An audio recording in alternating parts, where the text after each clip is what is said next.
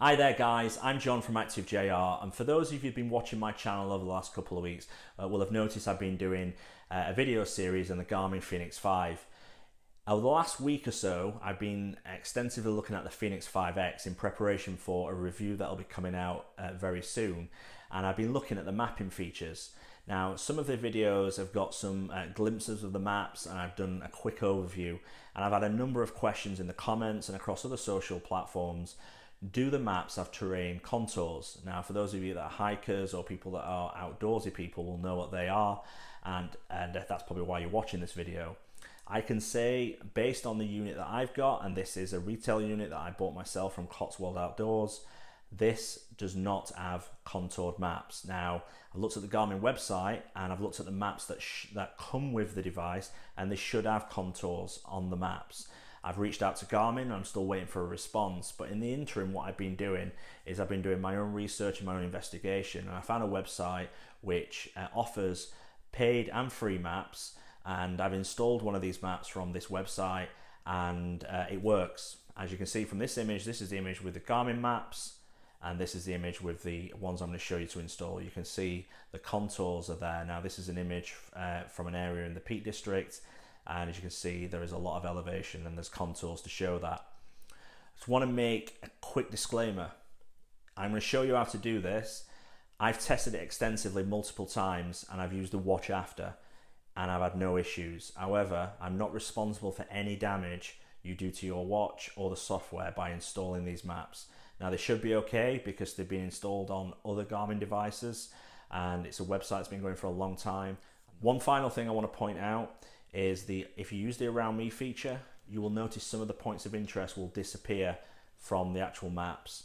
Now the maps are more detailed in terms of uh, elevation in terms of uh, features and they'll look more like ordnance survey maps or similar to the OS um, uh, discovery maps from Garmin which are pretty expensive but the um, uh, in most cases they're free from this website. So before we go into the main video, uh, as uh, as always, uh, I should subscribe to my channel because I've got plenty of videos coming out. And throughout this video, if you like this video, please like it below.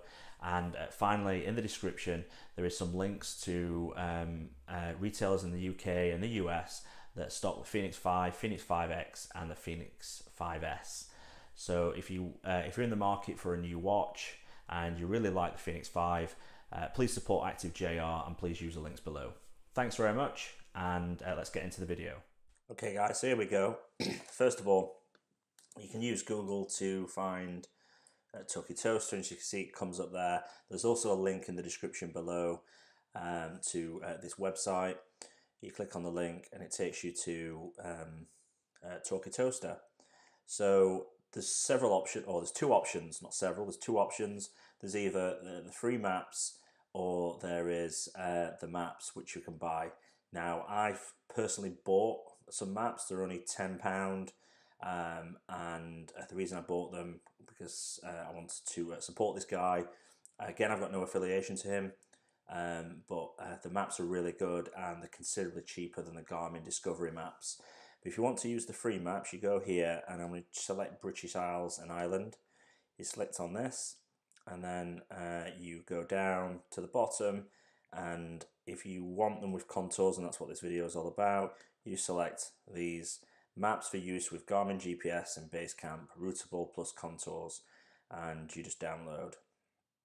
Now check the download bar. Now in this particular case it's going to take three minutes um, so what, what I'm going to do is skip forward to the installation part and just show you that.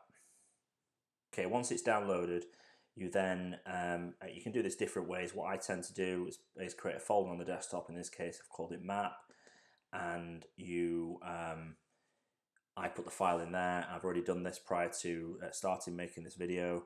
Uh, so you see here, I've got the file that I downloaded, and it's the it's it's it ends in IMG. Don't need to click on it. Don't need to do anything with it. Uh, just leave it as it is right now.